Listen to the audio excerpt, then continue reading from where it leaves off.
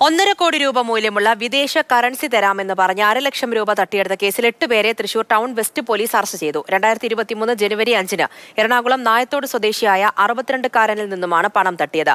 അരിമ്പൂർ പരക്കാട് ചെങ്ങേട്ട ചെങ്ങേക്കാട്ട് വീട്ടിൽ ലിജി ബിജു ആണ് ഇതിലെ ഒന്നാം പ്രതി. തൃശൂരിലെ ഒരു ആരാധനാലയത്തിൽ കാണിക്കയായി വരുന്ന വിദേശ കറൻസികൾ കുറഞ്ഞ മൂല്യമുള്ള ഇന്ത്യൻ കറൻസി രൂപയ്ക്ക് ലഭിക്കണമെന്നും ഇത്തരം ഇടപാട് വഴി വൻ ലാഭമുണ്ടാക്കാമെന്നും പരാതിക്കാരനെ പ്രതി വിശ്വസിപ്പിച്ചിരുന്നു. ഇത്തരത്തിൽ ഒരിടപാടിനായി ഒന്നര കോടി രൂപ നിലവിൽ കൈവശമുണ്ടെന്നും അമ്പത് ലക്ഷം രൂപ റൊക്കമായി നൽകിയാൽ വിദേശ കറൻസികൾ നൽകാമെന്നുമായിരുന്നു ഇടപാട്. പിന്നീട് പണം തട്ടി കബളിപ്പിക്കുകയായിരുന്നു